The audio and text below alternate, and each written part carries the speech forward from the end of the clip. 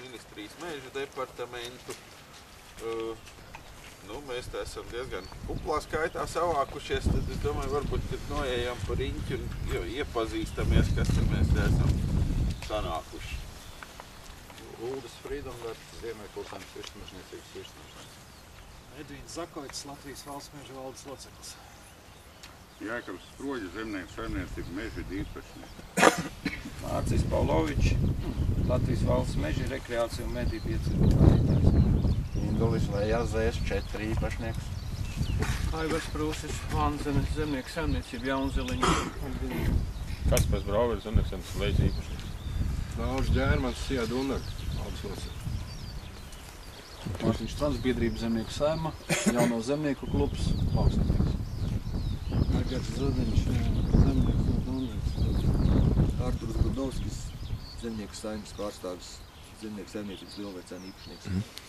Un es esmu Ivars Lodiņš no Latvijas mednieku savienības. Nu jā, Ziemat, kurš- paldies. Jā, tad te ir pārstāvēti, pārstāvēti gan valsts institūcijas, tātad ministrija un valsts meža dienests, gan akciju sabiedrība Latvijas valsts meža šobrīd, eh, gan kā medību tiesību eh, lietotājs, saprot, ja? Un, un, un konkrēto lauku īpašnieks un saimnieks un, un, un, nu jā, un lauksaimnieku un, un Latvijas mednieku savienību kā, kā sabiedriska organizācija, Jā, kas pārstāv mednieku. Bija pieaicināti arī medniekiem no Lēdi kaut kā. Nesenāk. Nu labi, nu, skaidrs, jā, apmēram tad, tad mums tas kontingents ir skaidrs. Nu tā lieta ir, kāpēc mēs te esam, ir medījāmo dzīvnieku nodarītie postījumi, nu gan konkrētajam, konkrētajiem rapša laukiem un, un, un, un pamatāties tautbriežu nodarītie postījumi, gan droši vien, kad kopumā aizrunāties varam un pa, pa, padomāt, pa, pa, pa, pameklēt risinājumu vispār medījamo dzīvnieku postījumu nu, samazināšanai vai, vai, vai, vai, vai maksimālai novēršanai. Jo to, kad, kad, kad pilnīgi, pilnīgi nebūs tie postījumi, tā, tā, tā droši vien ir utopija, tā kā runa varētu būt par, par, par, par maksimālu samazināšanu to postījumu negatīvās ietekmes novēršanu. Vai mums, nu droši vien, ka tā īsumā mums droši vien jāpārskrien pāri, ko tad, kāds ir tas rāmis, ko mums ir uzlicis likumdevējs, mums paši saimi ar, ar, ar, ar normatīvajiem aktiem, jo, nu, mēs varam runāt par viņu grozīšanu un, un, un, un visu kaut ko, bet tā šodienas situācija, ja mēs viņu risinām, tad mums, nu, ārpus tā rāma mēs izlekt nekādīgi nevaram. Nu, tātad pats pirmais pats būtiskākais ir, kad, tas savais dzīvnieks nepieder nevienam, kamēr viņš nav nopietnīgs likumā noteiktā kārtībā. Tātad nav, tas nav valsts dzīvnieks, jo, nu, pretējā Man Jūs gadījumā... mazliet pārtraukšu tādā gadījumā. Jūs sakiet, uh, valsts nav dzīvnieks. Kāpēc valsts, uh, valsts izdod šobrīd atļaujas? Zemnie, uh, zemkopības ministrija pārstāv valsts intereses. Ja? mūsu Pārstāv valsts intereses. un jūt, kā me, uh, un mežsaimnieki paši tālāk to, uh, šīs intereses arī uh, kārto tālāk visu dokumentāciju. Jautājums ir tāds, kāpēc līdz šim tiek, uh, jūs sakiet, uh, medību kolektīvi var noteikt savu apmedījumo daudzumu, cik viņi zvērs var uzturēt uz lauku. Ja, ja, lai nenodarītu daļai samazināt postījumus un, un, un, un, un, un, un, un, un, un, un, un tā tālāk. Bet, bet, bet meždienas atsevišķi likuma noteiktajā kārtībā, viņi saka, mēs atšaujam tikai 30, cik tur tie procenti no uzskaitīto zvēru skaita. Tad jautājums, priekš kam mednieku kolektīvs skaita šo zvērus, ka vienalga, ja tie zvēru blīvums ir lielāks nekā nepieciešams, nekā varam uzturēt, kāpēc tad jautājums risina, tad jāatļauj skaitu dod izējot no apējot medību kolektīvus. Tad eh, es jautāju tādā gadījumā. Medību kolektīviem ir viena uzskaita, mežsaimniekiem ir otra uzskaita, un, un pie konsensus mēs jau vairākus gadus pēc kārtas. Šitie vēl es nevarētu teikt, ka man te ir liela postījuma. Šitie vēl maz bija. Pagājušajā gadā noēsts bija simtprocentīgi, kaut kur 20 tūkstoši latu vērtībā. Uzskaitot, eh, ja skaita pēc eh, tām formulām, kas jums ir izdot ministra kabineta noteikumos. Tā formula nav pareiza. Tā formula ir paņemta no sociālajiem laikiem, kā rēķina, postījums, zaudējums zemniekam. Ko nozīmē man pie novājas lauka stāvēt pavasarī? Tie vairs nav rudens sējumi. Tas ir raps pārzīmots, tas izlolots ir. Šitā te uz lauka. Šitām vērtība jau ir savādāk. Kāpēc uzskaitē pavasarī iet, ko tu rudenī esi ielicis un ko tu esi sējis? Uz kādu pamatu tad, eh, te, tad tādā gadījumā notiek tā zaudējuma aprēķināšana. Zaudējuma aprēķināšanas formula nav šobrīd pareiza. Ja kaut vai sareidzinām pēc tiem laikiem, zaudējuma aprēķināšanas formula ir tikai izējot no iesētā, daudz, iesētā eh, hektāra daudzumu un kas tanī brīdī ieliks tanī iesēšanas periodā iekšā. Nu, ierīkošana. Nu, jā. Nu, tagad, tagad jau šī jau visa lauka ir ar minerālu mēsliem nomēslot. Man viņi jāmēslo, ir noēsts vai nav noēsts. Tālāk nākošais, kāpēc netiek aprēķināti tie zaudējumi, man viņi tas rapša lauks jāmiglo pirms kūšanas. Es viņu nevaru dabūt vienā reizē kultā kombainu. Šito pašu lauku es nevarēšu nokult reizē kombainu, visu lauku vienādi. Atstāt man, pagājušajā gadā man tā palikās. Ko tad es jau viņš izauga nezāle tāda, raps tur bija 10%, 20%. Ne tu kult, ne tu, ie, ne tu iediskot iekšā. Vienīgā, vienīgais uh, jautājums, ka tie, uh, visi pagājušais gads palika atsevišķi lauks, es atstāju šādā veidā. Es viņus rudenī mēģināju diskot iekšā. Man pat es nevarēju iesēt nākošā rudenī tādā laukā vairs. Man vasarā izaug šīs, šīs nezāles, vesels lauks, savairojies nezāles, tās atkal viss ir jādabā ārā no šī lauka. Tā kā tā formula nav pareiza, ko rēķina zaudējuma aprēķins. Nu jā, nu tāpēc... Un vienreiz pie tā konsensus jāpienāk, kad ja kolektīvs var uzturēt, es kā kolektīvs pārstāvs var uzturēt viens 20 briežus, pa ko es varu atbildēt un izdarīt tos jautājumus. Ja jūs apskatieties pa barotām, labi, Latvijas valsts meža nobarot savus tagad, šī momentā. Mēs varam aizbraukt uz, akad, aizbrauksim uz nākošo lauku akadēmijas saimniecībai, kas ir. Lauks ir simtprocentīgi gandrīz noēsts. Ja? Un aizbrauksim šodien uzreiz uz šito momentu, nokontrolēsim, vai tur ir piebarošana kāda notikusies. Es varu pateikt, ka akadēmijas saimniecība vispār nav redzējusi zvēru piebarošanu. Tad iznāk tā, ka... Bet viņi jau baro savādāk. Viņi jau baro, lai uzturētu sev ganāmpūku vēl lielāku. Nu, Es, Nu, es pats jau baro, bet kolektīva viņi mēs nāk ir uz- vedājušies Es domāju, ka barotavs šī periodā nav. Ja šeit būtu pagājušajā gadā, visu rapsi noēda marta mēnesī. Marts bija. Ziemu vēl mēs kaut kā nodzinājām.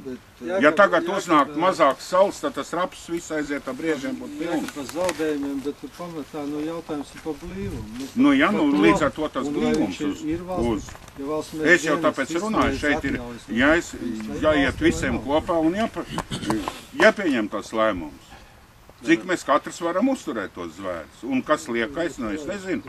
Liekais iemīdzina visus, aizved viņus uz Latgalu vai aizved uz mazāk zvēri, zvēri ir zemgalē. Lūdzu, palaidiet zemgalē kviešu laukos iekšā. Jūs iznesīsiet kājumu pa priekšu zemgalē. Līdz kapiem nevajadz, nevajadzēs, pašs aiznesīs. Aiziet gals, nemaz jā. nevajadzēs. Platais gals. Nu, tad mums kurzemē mēs arī esam iemācījušies lauks apstrādāt. Ir- Vai tagad kāds ir skatījies, cik ir uh, nopostīts jaunaudzes uz šito brīdi? Nav neviens vēl skatījies. Cik valsts mežos ir nopostījumi? Postījumi ir aprēķināti. Šobrīd ir redzams kaut kur.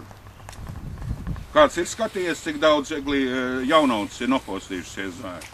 Es domāju, ka tur vēl neviens nav aizgājis līdz Nē, turien. nē, jaunauts ne tikai ir liels eglis. un mazs Nu, protams. Te jau var paskatīties šeit valsts mežs tālāk ir, kas kādreiz 70. gados nograus viss eglis, kāda tur materiāli iznāk ārā. Tā ir malka. Pirmie pieci metri, godīgi sakot, vai ne? Nu jā, nu tāpēc es biju Tāpēc domājis, arī mums ir kaut kas jārisina tas- tas. Nu jā, un tas, ko mēs varam šodien risināt, tas ir tas, mēs varam risināt esošajā rāmī. Mēs varam nospriest, ka ir nepareiza formula, ka ir nepareizs likums, nepareizs noteikumi un nepareiz medījāmo dzīvnieku uzskaitas kārtība. Iespējams, ka tā tas tiešām ir, Uzskaits bet te kārtība. jau kungi ir, kas piedalās jau divus, divus gadus apmēram un diskutē par medību likumu grozījumiem, un, un, un, un tas tik viegli nenāk. Un Nu, tik viegli šeit- nenāk. Bet Te- kur, te ir bet divas kur patiesībā, kur tas medību likums aizstāv? Viņš jau aizstāv mednieks, lai medniekam lai būtu ko šaut. Nu, Bet likuma- patiesībā, ja man ir, es iesācu kukurūzu audzēt lopiem, ja man no 20 hektāru atnāk cūks 4-5 hektāru nolēt gadā, es tikai baroju zvērus. Tas znači tas, ja šau tā sveņu mātli ierobežo to skaitu. A viņi jau nešauj, viņi vēl vēl pārstāv tā- nākamo tā tālāk. likuma mērķi un ideja bišķi gribētu pamainīt. Nu jā. Viņš būtu tendence uz trofeju iegūšanu, bet arī uz postījumu Patiesībā, eh, pat trofejas ja lāga vairs likuma mērķis neizaug. ir medību saimniecība, Viņi man nezin, tas ko viņi tur jāsaka tā veido, bet, nu- Jā, ilgspējīgi, kas par to medību saimniecību tad atbild? Atbildētais jau var jābūt kādam, ne? Ne tā? Tas ir, tas ir vislielākais draudz. Tad lūdzu atbildiet par savu saimniecību. Ja jūs man sakiet, ja ilgspējīgi politika labi, Tiek vairāk, nu, proporcionāli. Es no galvas Nē, tagad nu, nepateikšu, kad lielos Bet, ciparos, tas, procentos. Ja tiek nomedīts 38% uh, procenti, ja, no, dzīvnieku uz, no uzskaitītajiem dzīvniekiem, ja, tas ir ļoti liels limits noteikts medību saimniecībai. Jo standartā, ja, lai saglabātu līmeni 20%, ko nedrīkst 38 tiek A, ir, ir uzlikts 38. Nu, Bet tad- vai te viņi tad nomendīja 3, Ot, tur tas jau ir cits tas. Cik ir Tādā, tādā gadījumā izskatās, ka Vai, vai medību kolektīvs tiešām tā varbūt jāprasa, tā, ka jāsaka tā, atnes katrs kāju, ko jūs nomedījis, viņa varbūt Jo- uzrakst, jo ziniet, tas ir- nav tik neticami. šobrīd nomedīt. Es jums varu pateikt, to tendenci nav tik vienkārši. Ot, es atnākšu un nomedīšu. Es sēdēšu šitā kancelē, mēs esam šī kancelē sēdējuši uh, vairāk nekā vajag. Ka, atkarībā no vējiem, kāds vējš pūš, tā tas briedis iet ārā. Nē, nē, par Vai to ne? Ja mēs visu laiku gājām šī pusē, te gājām šitiem laukiem ārā vienkārši ar visu citi. Ko, ko nošāva, neko jau Vietējie nenošāva. kolektīvi arī šeit sargāja tos, tos laukus, vai tie pašiem viss tas Sargāšana, sargāšana es pats sargāju. Kāds kolektīvs tur kaut ko var nosargāt? Kā var būt tas ieceši? Nezinu, priekšlikums nodoms par uh, viena liela lauksaimnieku kolektīva izveidi Tals rajonā. Tur nekas neiznāks. Un es pasaku, kāpēc? Tāpēc, ka uh, briedim, vienalga briedim, cūkai, tas, kas nāk uz lauksaimniecības platībām, teiksim, nu, viņam meši dabiskā vide. Jūs esat zemju īpašnieki, jūs viņus apsaimniekojat, Zemju okay, jūs, meža zemju un meža īpašnieki. Jā, jūs varat savā teritorijā, teiksim, izveidot šo te kolektīvu, bet tik un tā paliks, nu, piemēram, valsts mežs, paliks kaut kāds privāto īpašnieku mežs, uz ko, teiksim, lietošanas tiesības šobrīd ir citiem, teiksim, jā. Ja tā darbība netiks savstarpēji kaut kādā veidā koordinēta, jā, nu, pa nakti viņš dzīvo, es atvainojos, pa dienu viņš dzīvos mežā, pa nakti viņš nāks uz jūsu laukiem, teiksim, ārā. Nu, tas dzīvnieks kustē, viņš kustās, viņš migrē, teiksim. Nu, tā, ir, tā, tā ir tā pamatbūtība, teiksim. Un, Nē, nu dabīgi, ka viņš neiznāks ne, nekas, Jā, bet bet katrā ziņā kaut Latvijas valsts kaut mežiem kas. pēc Latvijas likumiem. kur mēs atrodamies. Šitas te gabaliņš, jā, šita vienā pusē te ir uh, mednieku, tad, tad, tad ir andumi, tad ir am, avot, tad ir cauzām un šlums, tāda tik raiva ir tā karte. Kā lai normāli saimnieko šīs mednieku kolektīvs vai ne, kurš, kurš te ir to ideju. savukārt mēs šīs medību tiesības nododam medību kolektīviem. Bet, ar- viņiem, nē, tur nav tā kā viņi dara kā grib, ar viņiem faktiski ir Uh, nu, mūsu gadījumā ir tipveida līgumi, un tipveida līgumos ir divas ļoti labas sviras iekšā. Pirmā svira ir tā, ka um, postījuma gadījumā mēs šos līgumus laužam. Otra lieta ir, ja teiksim, um, postījumi nav tikai nu, atšķirībā varbūt mums no, no, no lauksaimniekiem. Mums meža cūka meža saimniecībai nekādus draudus nerada. Tas ir pamatā briedis, alnis, bebrs. Teiksim, jā, un otra lieta ir izpildu direktora norādījuma attiecībā uz meža infrastruktūru par bebriem un tā tālāk. teiksim. Un tas, ka to limitu jau var palielināt, iedot kaut vai 100 licences. Teiksim, ja? Nekas netraucē, es teikšu, nu, kas pats esmu arī mednieks. Teiksim, ja? Man nekas netraucē pakāpeniski tās licences visa gada griezumā norakstīt un pēc tam gada beigās iedot teiksim, atpakaļ meža dienestam un pateikt, veči, es esmu visu limitu atšāvis. Tā pašā laikā meži, mežā postījumi vēl, teiksim, nu, Kā es geometriskā, geometriskā, ne, ne, kājas tās var arī savākt, teiksim.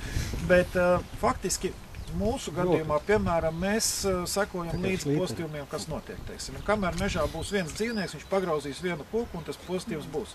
Tas nozīmē, ka ir teiksim, kaut kāds noteikts teiksim, procents postījumu, teiksim, ja, nu, kas mežā ir pieļaujami. Teiksim, kaut kādi To pāris procenti. protams. Ta- Ar to, Tā- ar to mēs reiķinamies, tas ir normāli. Ja Postījumi šie, kaut kādā ja šie postījumi mūs, mums, piemēram, iet pāri, teiksim, tad mēs savukārt dodam vēstuli medību tiesību nomas nomniekam ar brīdinājumu teiksim, par šo postījumu novēršanu, ko arī mednieki dara. Jo pazaudēt medību līgumu neviens no viņiem negrib faktiski. Tas ir tās vīra un tas mehānisms, ar ko teiksim, to var regulēt valsts mežos. Bet es jau teicu, sākumā tā problēma ir tā, ka teiksim, valsts meži no visiem mežiem ir tikai puse no Latvijas teritorijas. Otra puse ir citi, un tas zvērs jau staigā. Ok, ja medības intensīvi notiek valsts mežā, viņš pārvietojas uz privātajiem, un tad viņš nonāk to, ko Friedenberga kungs rādīja. Tur ir rentie, tā kā, tā kā lupatu deķīti sašūs, teiksim, šie te medību lietotāji, teiksim, ja? Daļā vispār nav nekāda medību līguma, un tur tas briedis mierīgi dzīvo, teiksim, nu. Viņam nekas netraucē, piemēram, dienā šita dzīvot, ja te neviens viņu netraucē tajā mazā pudurī.